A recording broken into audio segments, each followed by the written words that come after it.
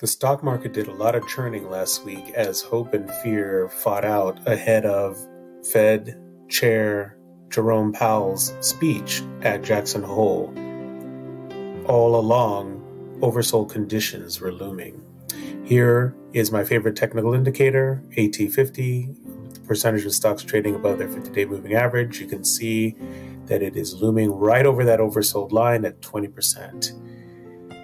As a result, this S&P 500 is churning underneath the 50-day moving average resistance, which is that red line, and now it's converged with 20-day moving average resistance, which is the dotted line. Same thing for the Nasdaq. This is an ominous bearish pattern, and with oversold conditions looming, uh, it suggests that these indices are biased lower for the short term.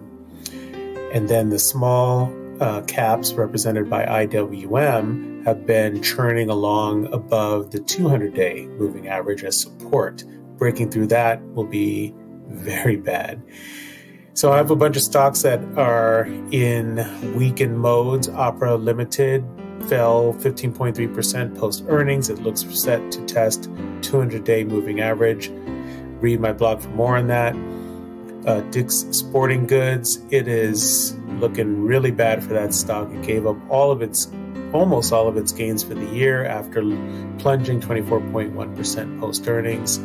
Charles Schwab Corporation looks like it's confirmed its 50 day moving average as resistance, sorry, as a breakdown after looking promising post earnings. First Solar is struggling to hold its May post earnings lows.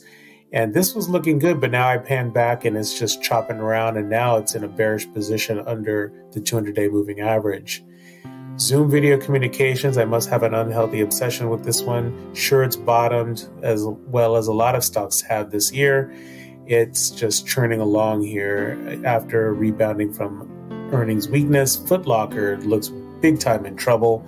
I think this is its lowest close in, um, I think, 13 years or so it crashed essentially after earnings again. And another crash here for Domo, a data analytics platform. It's back at its pandemic low. This is looking really bad, and I'm wondering about its business. So you can find more details at drduru.com slash 122, or you can subscribe to this YouTube channel to get glimpses into my writing. Take care. See you next time.